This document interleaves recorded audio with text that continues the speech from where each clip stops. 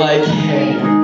Alright, this song is called If It Means a Lot to You by Day to Remember. This goes out to Ryan and all of C3. Who